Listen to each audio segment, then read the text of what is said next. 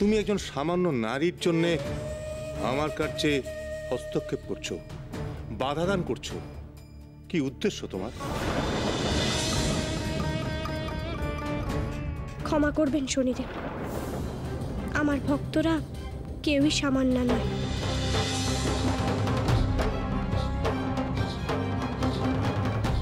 সে হতে পারে শ্রীলক্ষ্মী কিন্তু কেউই কর্মফলের উপরে নয়। মর্তের নিয়ম অনুযায়ী তিলোত্তমার দুর্ভাগ্য চলার কথা উনিশ বছর ধরে। কিন্তু সংসারে সে যখনই লাঞ্ছনার মুখোমুখি হয়েছে, তুমি ছুটে গিয়ে তাকে উদ্ধার করেছ। এমনকি তার দুর্ভাগ্য কাটানোর জন্যে তাকে সন্তান পর্যন্ত প্রদান করেছ। কেন দেবী? হে শনিদেব, তিলোত্তমা আমার ভক্ত। কি করে আমি তাকে উনিশ বছর দুর্ভোগের মধ্যে রাখব? প্রভু, তুমি কিছু বলছো না কেন? সকলেরই নিজের ধর্ম পালন করার অধিকার আছে। সে অধিকারে আমি হস্তক্ষেপ করতে পারি না। তুমি তোমার ধর্ম পালন করবে আর শনিদেব তার ধর্ম পালন করবেন।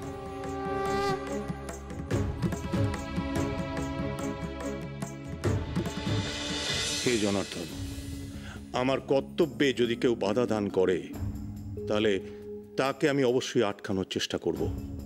সঠিক বিচারের জন্য যে কোনো পন্থাই আমি অবলম্বন করতে পারি। এ আমার অধিকার। তারপর যেন আপনাদের মনে না হয়, শনিদেব অত্যন্ত নিষ্ঠুর। তিনি অসৎ।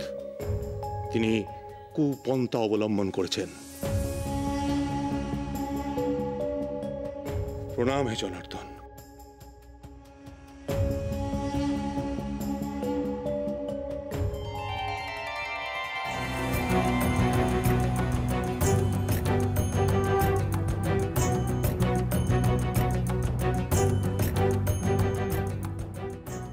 শনিদেব কিন্তু এবার বড় বেশি ক্রুদ্ধ হয়েছেন। তিনি তার পূর্ণ শক্তি প্রয়োগ করবেন। সাবধান দেবী।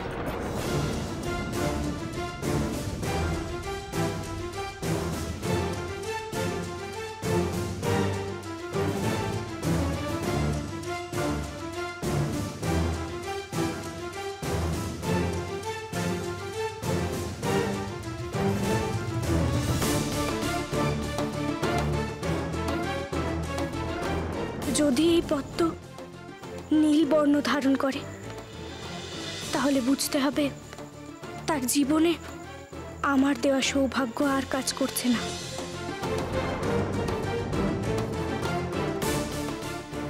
মাতা এবার কি হবে?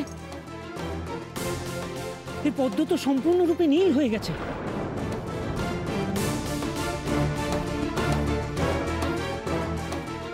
তিলোত্তমার জীবনে চরম দুর্ভোগ নেমে আসছে দেবর্ষি।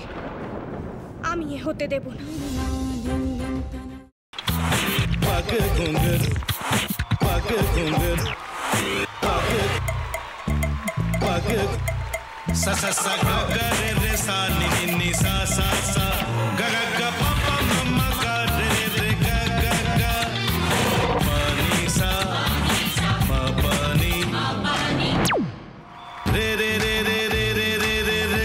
ga re ga re ga re ga pa pa pa pa pa ma ga re sa ne da ba sa pa ma ga re sa ne da ba sa pa ma ga re sa ne da ba sa ভাতের সঙ্গেই তোমার ইলিশ মাছ actually ভাতের সাথেই ভালো লাগে এইবার একটু আর একটু জল জল লাগবে হ্যাঁ সর্ষে বাটা দিলে তো তুমি বাজার করেছ কখনো? বাজার করেছি কখনো না বাজারটা আমিই করি। কোথায় বাজার করো? আমাদের হ্যাঁ আমি বেলঘড়িয়া মানে আমি খুব খাদ্য রসিক সত্যি বড় হ্যাঁ মানে ধরো শনি রোববার হলেই আমার মনটা চুপচুপ করে। হ্যাঁ। দেখো ঠিক হচ্ছে কিনা তারপর বলো। তোমার যাই এখানে ওখানে খেতে রেস্টুরেন্টে